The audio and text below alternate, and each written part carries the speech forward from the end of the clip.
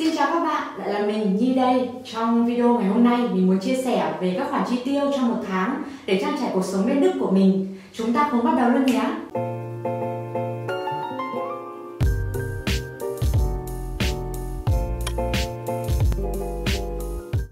Đầu tiên mình sẽ nói sơ qua đến lương học nghề của mình được nhận trong mỗi tháng. Thì trên hợp đồng, lương của mình nhận trong 3 năm học nghề là 800 euro, tức là năm 1, năm 2, năm 3 mình đều nhận là 800 euro và không có sự thay đổi về số lương đấy. Thì ở Đức, lương trên hợp đồng được gọi là brutto, lương chưa trừ thuế và sau đó thì mình phải chi trả những khoản thuế như sau. Thứ nhất là bảo hiểm hưu trí, thứ hai là bảo hiểm y tế, thứ ba là bảo hiểm chăm sóc điều dưỡng sau khi mà bạn về già thứ tư là bảo hiểm thất nghiệp tức là mình sẽ phải đóng bốn cái loại bảo hiểm như thế sau đó lương sẽ gửi đến tay mình còn là 600 euro gọi là netto. Lương đã trừ thuế. Sau khi nhận được tiền lương thì khoản tiền đầu tiên mình phải chi trả là tiền nhà. Mình thuê chung nhà với bạn mình thì nhà đã có đầy đủ đồ đạc trước và mình chỉ mua thêm một nhiêu xoa chảo rồi bát đĩa hoặc là những cái đồ vật dụng cá nhân của mình thôi. Thì bọn mình chia nhau thì mỗi người là 235 oi một tháng tiền nhà. Mình sẽ có một phòng ngủ riêng và dùng chung phòng bếp, phòng ăn, phòng khách và phòng tắm. Các du học sinh như bọn mình thì thường hay thuê một dạng nhà này ở Đức gọi là Wohngemeinschaft, hay được viết tắt là VG thì thường sẽ rẻ hơn khi bạn thuê hẳn một căn hộ. Vì tại Đức nếu thuê hẳn một căn hộ thường sẽ không có đồ đạc gì hết, mà mình phải tự mua hết tất cả mọi đồ thì nó rất là tốn kém. Nên là mọi người thường thuê dạng nhà như thế này để tiết kiệm tiền. Và nói chung là khi chuyển đi nó cũng đơn giản hơn. Tiếp theo đi kèm với tiền nhà sẽ là tiền điện nước. Ở Đức, họ thường cung cấp các gói cước điện nước tùy vào nhu cầu của người sử dụng. Thì gói cơ bản là 50 euro một tháng. Chủ nhà cho bọn mình thuê thì đã đăng ký gói cước là 50 euro một tháng cho bọn mình. Tức là mỗi tháng mình mất 25 euro tiền điện nước. Tuy nhiên, cái hay ở cái gói điện nước này là nếu mà đến cuối năm họ kết toán, mình mà dùng ít hơn thì mình sẽ được trả lại tiền. Còn nếu mà mình dùng nhiều hơn thì mình cũng phải trả thêm tiền cho họ nó vẫn như tính nhận nước số như bình thường ở mình thôi. May mắn là mình chưa phải trả thêm tiền một lần nào cả. Và cũng tiếc là cũng chưa được nhận lại tiền bao giờ. Và tất nhiên là không thể sống thiếu internet rồi. Thì một tháng internet của mình là 10 euro. Và tiền sim điện thoại của mình là 25 euro. Có thể gọi được tất cả các mạng và có 10 g mạng một tháng. Còn đây là cái khoản tiền mà mình cay cú nhất. Tiền radio rõ ràng là mình không hề dùng radio hay là mình không hề dùng tivi thế nhưng mà tại nước này tất cả mọi người đều phải đóng một khoản tiền đấy. Và có giá là 17,5 euro một tháng. Mình còn nhớ là mình sống ở Jena trong ký túc xá của trường. Thì mình có sống chung với hai bạn người Đức nữa.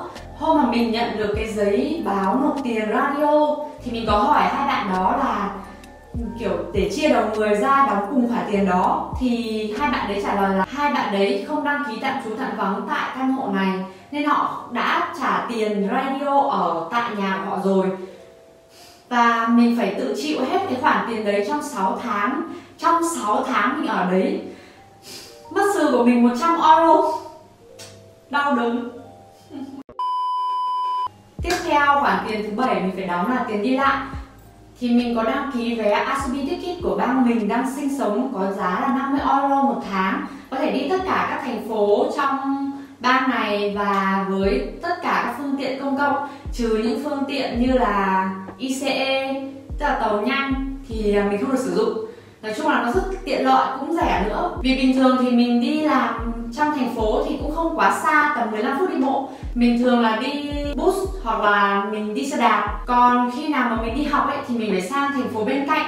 Nếu mà mình mua vé tuần để cho đi học thì mất 30 euro một tuần cơ. Nói chung là nó khá là đắt. Nên là mình thấy cái vé này mình được hời khá là nhiều. Thì khi đăng ký vé này thì mình đã đồng ý cho họ trừ thẳng vào tài khoản của mình vào mỗi mồng một đầu tháng. Thế nên là khi mà mình nhận lương xong thì cái khoản tiền này cũng tự động trừ luôn. Tức là tiền của chưa ấm tay đã phải trả khoảng bao nhiêu khoản rồi? Có thực mới vực được đạn đúng không? Thì tiếp là tiền ăn này à. Khoản tiền ăn cũng là một khoản chiếm khá nhiều trong tổng số lương của mình. Thì trung bình một tháng mình mất khoảng 120 euro tiền ăn. Chưa kể là nếu tháng nào mình có mua thêm gạo hoặc là đồ á, ví dụ như mì tôm, nước mắm rồi vân vân và vân vân thì nó sẽ lên tầm khoảng 100 euro một tháng. Tức là tại chi nhánh mà mình đang làm việc thì họ không có bao ăn một bữa. Không giống như kiểu khi bạn làm trong nhà hàng khách sạn hay là trong ờ, uh, viện dưỡng lão hoặc là nói chung là nghề điều dưỡng ấy thì thường sẽ được bao ăn một bữa thì từ đấy thì bạn cũng tiết kiệm được một khoản tiền khá khá. Tất nhiên khoản tiền ăn này có thể tăng lên hoặc giảm xuống tùy vào nhu cầu ăn uống tiết kiệm của bạn như thế nào. Ngoài ra vì mình là con gái nữa thì nên là mỗi tháng mình dành ra khoảng 20 euro để mua những đồ cá nhân cho mình. Ví dụ như là băng vệ sinh hay là dầu gội sữa tắm gì đấy. Nên mỗi tháng mình đều để dành ra khoản tiền này. Dù tiêu hay không tiêu thì mình vẫn thể riêng ra và tháng nào cần tiêu nhiều hơn thì cũng không phải lo là mình phải lấy thêm từ các khoản khác. Ở đây mình đã ghi lại tất cả các khoản tiền mình cần cho sinh hoạt tối thiểu một tháng của mình ở bên Đức. Thứ nhất là tiền nhà 235 euro. Thứ hai là tiền điện nước 25 euro. Thứ ba internet 10 oi. Thứ tư tiền sim 25 euro. Thứ năm radio 17,5 euro. Thứ sáu tiền đi lại là 50 euro. Thứ bảy tiền ăn là 120 euro. Và cuối cùng tiêu dùng cá nhân là 2 euro. Tức là một tháng mình cần 502,50 để đủ cho cuộc sống sinh hoạt của mình thì mình sẽ tiết kiệm được là 97,5 euro một tháng. Nếu tất nhiên là nếu nếu mà mình không ăn tiệm mình không mua sắm quần áo giày dép phụ kiện không mua mỹ phẩm nói chung là không mua bất cứ một thứ gì thì mình sẽ để ra được là 97,5 euro một tháng. Tuy nhiên trên đời này luôn có thứ gọi là chi phí phát sinh và tháng này mình đã mua một chiếc gimbal chống zoom cho chiếc điện thoại của mình để có được những cảnh quay mượt nhất. Nên mình đã cắn răng và rất mạnh tay chi tiêu cho em nó. Và em nó có giá là 129 euro, tức là tháng này mình đã bị âm, chứ không tiết kiệm được đồng nào cả. Buồn ghê.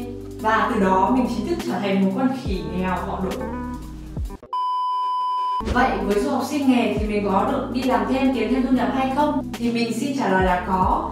Theo quy định thì du học sinh nghề được đi làm không quá 10 tiếng một tuần và bạn phải được sự cho phép của nơi bạn đang thực tập. Bạn cũng có thể làm các công việc mini job mà lương mức lương dưới 450 euro thì với mức lương đấy bạn không phải đóng thêm một đồng thuế nào hết ví dụ như ở chỗ mình thì mình có thể đi làm thêm ở McDonald's còn nếu là nếu bạn muốn làm nhiều hơn và không cần sự cho phép của nơi bạn đang thực tập thì bạn có thể đi làm thêm ở các quán Việt làm bồi dọn dẹp, vào những lúc mà bạn có thời gian rảnh và có thể sắp xếp được với công việc của bạn. Tóm lại nếu như học nghề ở bên Đức thì bạn có thể đủ để trang trải cuộc sống sinh hoạt tối thiểu của bạn. Ngoài ra thì mình có thể tiết kiệm một khoản tiền nhỏ cho việc đi du lịch này, hoặc là có thể mua sắm một xíu, cái này, cái nọ chẳng hạn nó không quá nhiều. Nhưng mà đối với mình thì tại mình đang đi học mà, nên là như thế là đủ cho mình. Và mình cũng không cần phải quá lo lắng mỗi ngày về mình lấy đâu ra tiền để sống ở đây. Còn bạn nào mà muốn vừa đi học, vừa muốn kiếm tiền để trả nợ ở Việt Nam thì mình nghĩ là cũng hơi khó khăn. Vì ví dụ như là mình làm nghề bán hàng hoặc là bạn làm nghề khách sạn, làm nghề nhà hàng thì lịch làm việc rất là linh động. Bạn rất khó để sắp xếp làm thêm giờ để kiếm thêm thu nhập như mình bây giờ Đến đây video của mình kết thúc. Xin cảm ơn các bạn đã theo dõi kênh của mình. Hẹn gặp lại các bạn vào những video tiếp theo. Bye!